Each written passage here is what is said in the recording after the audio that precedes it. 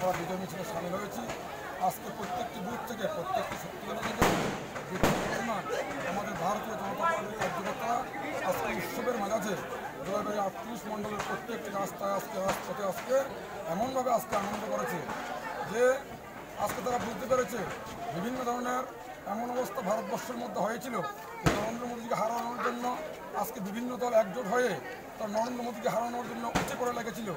আজকে ভারতবর্ষের মানুষ সেই জনাদেশ দিয়ে দিয়েছে প্রধানমন্ত্রী নরেন্দ্র মোদীজি একজন প্রধানমন্ত্রী যিনি ভারত- ভারতবর্ষকে চালাতে পারবেন এবং আমাদের ত্রিপুরা রাজ্যে পশ্চিম আসন এবং পূর্ব ত্রিপুরা আসন, এই দুটি আসন ভারতীয় জনতা পার্টি, ভারতীয় জনতা পার্টি বিপুল ভোটে জয়লাভ করেছে এবং আমাদের আটত্রিশ জলাইবাড়ি মণ্ডলে আমরা সিপিআইএম, আইপিএফটি এবং কংগ্রেস দলকে একেবারে নিঃশেষ করে দিয়ে আমরা ভারতীয় জনতা পার্টির পক্ষ হয়ে বিপুল ভোটে আমরা জয়লাভ করেছি।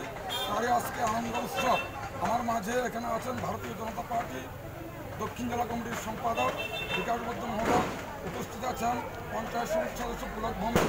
উপস্থিত ভারতীয় জনতা পার্টি আটত্রিশ জুলাইবাড়ি মণ্ডলের সম্পাদক প্রদীপ ভৌমিক সহ ভারতীয় জনতা পার্টির মণ্ডলের মোর্চা এবং সমস্ত শক্তিকেন্দ্রের বুথে সমস্ত কার্যকর্তারা আজকে উপস্থিত হয়ে যে একটা আনন্দ উৎসব, যে ভারতীয় জনতা পার্টি লাগবে আগামী দিনে ত্রিপুরা রাজ্য শাসন করতে এবং ত্রিপুরা রাজ্য মানুষের পরাধীন হয়েছিল, ভারতীয় জনতা পার্টির যে সরকার প্রতিষ্ঠিত হয়েছে, সে সরকারের মাধ্যমে ত্রিপুরা রাজ্যের মানুষের সে স্বাধীনতা ফিরিয়ে দেওয়া এবং যে লাঞ্ছনা বঞ্চনা, তাদের যে সুসংঘাত শেষ করা, সেটা একমাত্র ভারতীয় জনতা পার্টি পারে, সেটা এই লোকসভা নির্বাচনে প্রমাণ হয়েছে।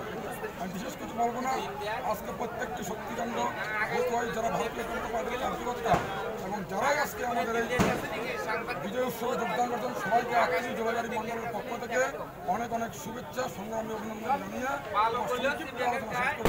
সবাইকে ধন্যবাদ।